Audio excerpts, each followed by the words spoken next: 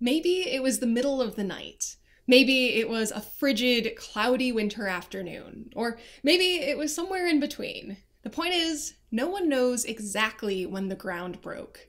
All we know is that it happened all at once and after 400 million years. Recently, I got to spend one of those frigid, cloudy winter afternoons at a place I've been wanting to visit for more than a year. It's called Kitchitikipi, or the Big Spring, and it has one heck of a story. To me, the story starts about 420 to 440 million years ago, which is so long ago I can't even really wrap my mind around it. But to give you some reference points, this was way before humans, way before dinosaurs, and right around the time the first documented animals were showing up on land, at least depending on where in that window you look. Also, because the continents drift over time, the land that's now Michigan was located south of the equator. And also, it was underwater. Scientists call this time period the Silurian, or I've also heard Silurian. Regardless, during the Silurian, melting ice meant sea levels rose significantly, and in all that water lived some pretty incredible forms of life. Like jawless fish were especially widespread and diverse,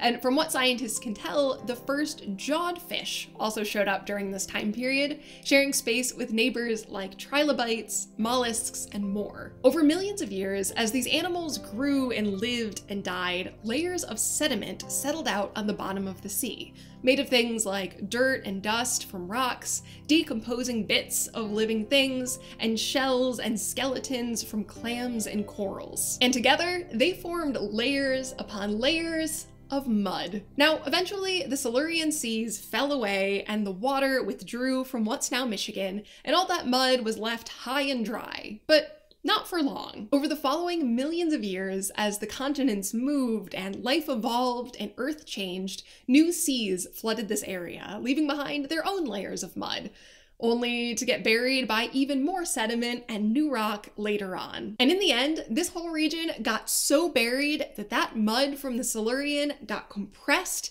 and turned into stone, largely a kind called limestone. Here, the thing to know about limestone is that it's like not particularly tough, at least compared to some other kinds of rock. With enough water, you can pretty easily wear this stuff away, and time was happy to do that. Now, okay, that said, the timeline for this next part of the story is a little fuzzy. I couldn't find any sources that said exactly when these next events happened, and it's possible we don't know. So I'm going to take an educated guess and skip way ahead to only 8,000 years ago, which is basically yesterday compared to the Silurian.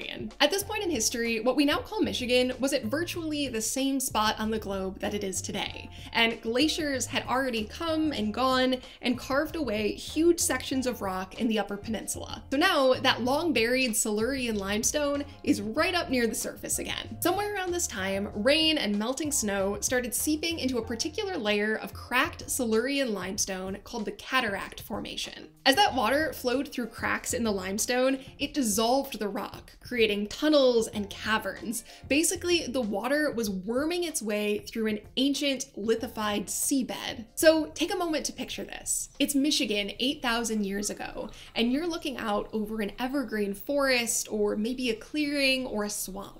Either way, the ground in the distance seems still and stable.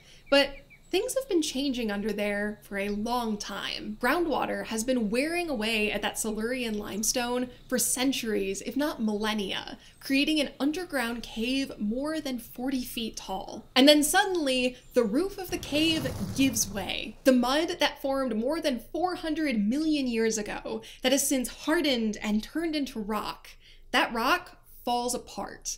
The ground collapses and a deep pit is formed. And over time, that pit fills with water to become a spring. Today, it's called Kitchitikipi in the Anishinaabe language, or the Big Spring to some folks in English, and it is entirely beautiful. You can take a raft out into the middle of the spring and watch water burst up through the remains of a more than 400 million year old ocean floor. In fact, more than 10,000 gallons of water floods this spring every minute, ultimately flowing out to a much larger lake nearby. For the record, all that water doesn't seem to come directly from rain and melting snow. I found a paper published in 2020 that references a deep aquifer that feeds the spring. Regardless, because the water comes bursting up from underground, and because the water in the spring is recycled so often, this place almost never freezes over. In fact, when I visited, it was properly below zero degrees Fahrenheit, and I didn't even see an ice crystal on the surface of the water. As for why the water has that vibrant green color,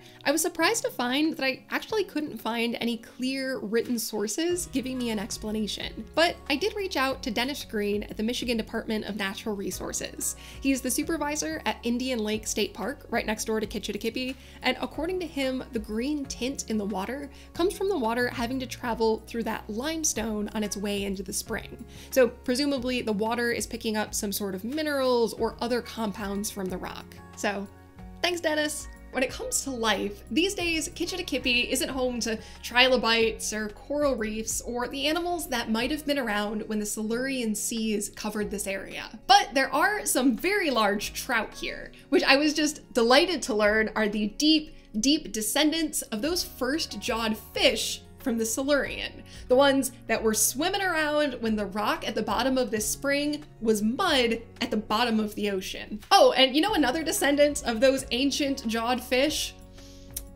Humans. We are also deep, deep descendants of bony jawed fish. So that'll throw your brain for a loop. At the end of the day, nobody knows exactly when the ground gave way and Kitchitikipi first formed. But you don't need to know everything about this place to understand that there's something special about it. And when I started learning the story, I quickly realized that this is a pretty spectacular place to take a trip back in time. Even more so than others, this story is brought to you by the folks who support my work at patreon.com slash alexisdahl. I had to do a bit of traveling for this story to get to Kitchitikipi, and those folks made that possible, so thank you. If you're someone who's interested in helping me make more videos like this, you can learn more about how to do so over on Patreon. Or, this is a new thing, if you're interested in supporting these videos, but monthly support just isn't for you, you can check out buymeacoffee.com slash alexisdahl. It won't literally buy me a coffee, I've got plenty of that, but it is an easy way to give one-time support and help keep this series going if you've been enjoying it and think it's valuable. And of course, if neither of those things are for you, no worries, I'm glad you're here. As always, thanks for being here, and I'll see you soon.